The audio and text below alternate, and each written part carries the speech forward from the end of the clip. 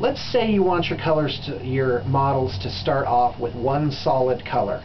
What you would do is you would either put down white or black primer. I recommend Rust-Oleum uh, flat white primer, Painter's Touch uh, sub brand, or Krylon Ultra Flat Black.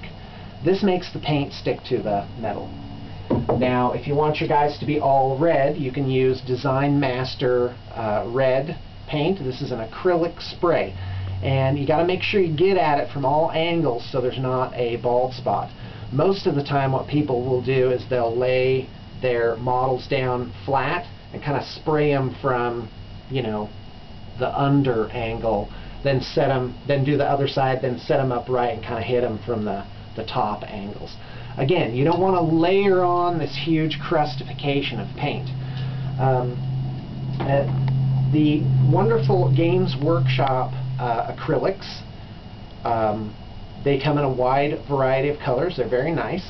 Uh, another option is to um, buy Design Master brand acrylic paints. You can find these at craft shops and uh, those come in a wide variety of colors. Uh, as far as I can tell, there's uh, not uh, any difference between the two items. And you can really save yourself a lot of time with that technique. If, uh, if your models are 80% one color, let's say they have solid blue armor almost exclusively, then um, putting down a solid blue coat over the entire model really is a great way to go.